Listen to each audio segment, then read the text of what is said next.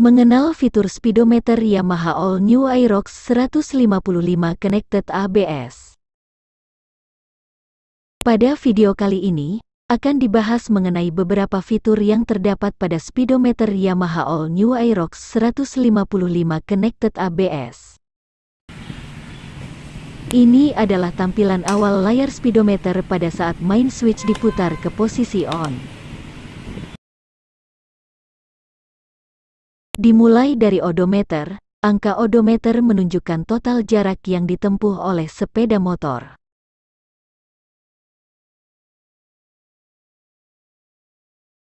Berikutnya adalah trip meter. Angka trip meter menunjukkan jarak yang telah ditempuh setelah trip meter terakhir kali diatur ulang. Pada Yamaha All New Aerox 155 Connected ABS, terdapat dua buah trip meter, yaitu trip 1 dan trip 2.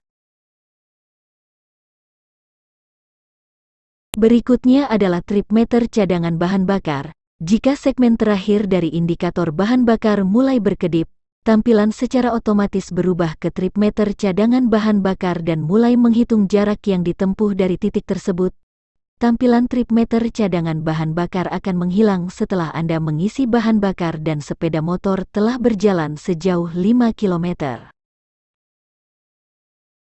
Berikutnya adalah tampilan konsumsi bahan bakar seketika. Tampilan ini menampilkan konsumsi bahan bakar dalam kondisi berkendara saat ini. Tampilan ini dapat diatur dalam satuan kilometer per liter atau liter per 100 kilometer. Berikutnya adalah tampilan konsumsi bahan bakar rata-rata. Tampilan ini memperlihatkan konsumsi bahan bakar rata-rata sejak terakhir kali diatur ulang. Tampilan ini dapat diatur dalam satuan kilometer per liter atau liter per 100 kilometer. Berikutnya adalah tampilan voltase baterai. Tampilan ini menunjukkan kondisi pengisian baterai saat ini dalam satuan volt. Berikutnya adalah tampilan trip meter penggantian oli mesin. Tampilan ini menunjukkan jarak yang ditempuh sejak terakhir kali oli mesin diganti. Indikator oil akan berkedip pada 1000 km pertama, kemudian 3000 km berikutnya, lalu setiap 3000 km sesudah itu, untuk mengatur ulang trip meter penggantian oli mesin dan indikator oil, pilih tampilan trip meter penggantian oli mesin pada layar speedometer, Kemudian tekan tahan sakelar menu sampai oil dan trip meter berkedip, lalu lepas. Ketika oil dan trip meter berkedip, tekan tahan kembali sakelar menu sampai trip meter diatur ulang kembali ke angka 0. Pengaturan ulang oil trip meter wajib dilakukan setelah dilakukan penggantian oli mesin sepeda motor. Berikutnya adalah tampilan trip meter penggantian V-belt Trip meter ini menunjukkan jarak yang ditempuh sejak V-belt diganti terakhir kali.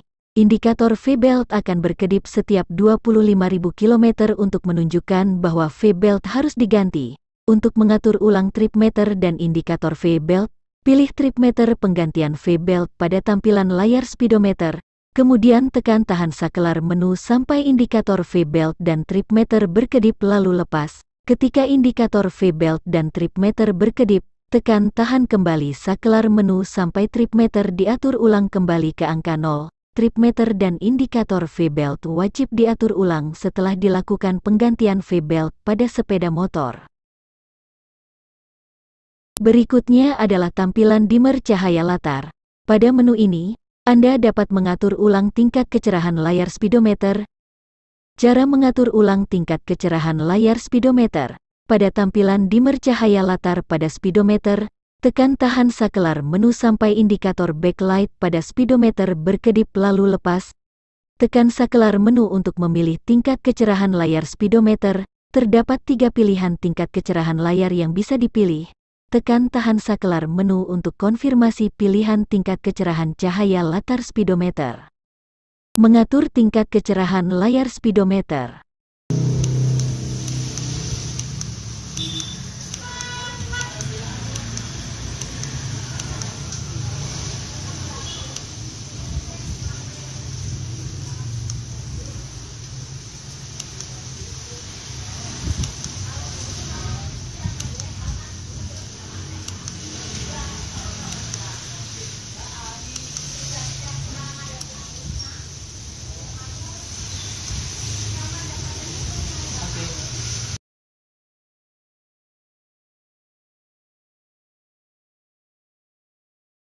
Mengatur tampilan jam.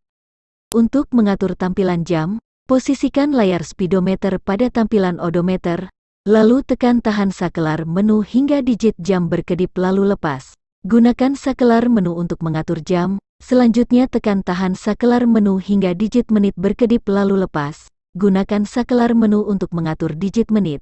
Jika sudah selesai tekan tahan sakelar menu untuk mengkonfirmasi bahwa pengaturan telah selesai.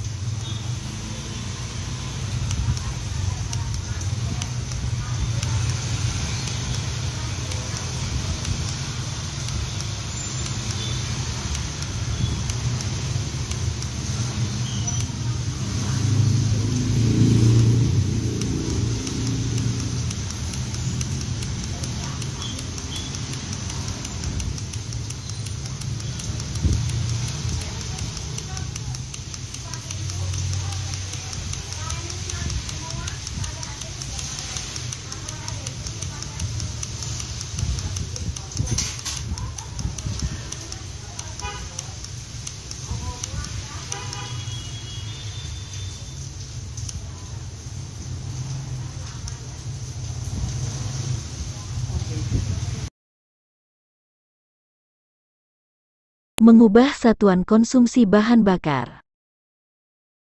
Ada dua pilihan satuan konsumsi bahan bakar yang dapat Anda pilih, yaitu kilometer per liter dan liter per 100 kilometer. Berikut ini cara merubah satuan konsumsi bahan bakar.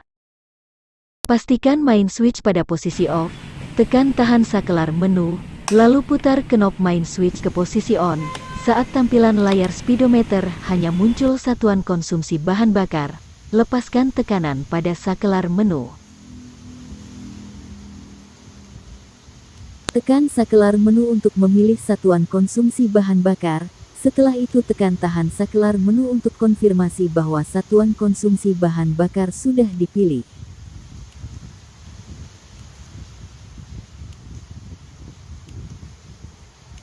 Lakukan cara yang sama jika ingin merubah kembali satuan konsumsi bahan bakar.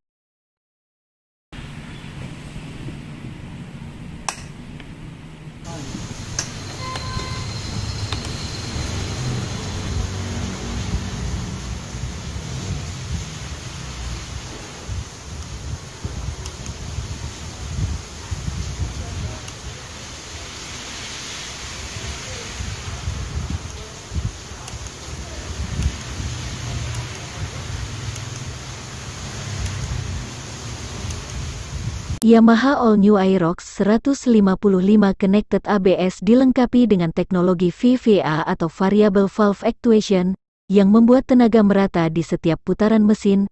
VVA mulai bekerja pada putaran 6000 rpm, ditandai dengan munculnya indikator VVA pada layar speedometer. Indikator VVA dapat diatur dalam dua pilihan, yaitu tampil dan tidak tampil saat putaran mesin di 6000 rpm, tetapi pada aktualnya VVA ini tetap bekerja walaupun indikator diatur agar tidak tampil pada putaran mesin di 6000 rpm. Berikut ini adalah video yang menampilkan indikator VVA pada speedometer saat putaran mesin mencapai 6000 rpm.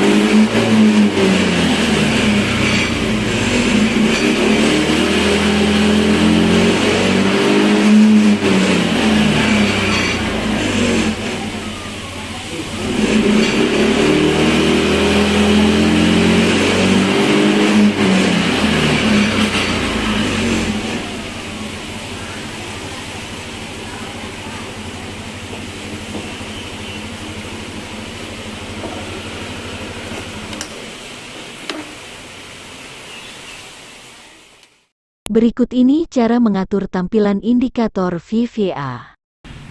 Pastikan main switch pada posisi off, tekan tahan sakelar menu, Lalu putar knob main switch ke posisi on. Saat layar speedometer hanya tampil indikator VVA, lepaskan tekanan pada sakelar menu.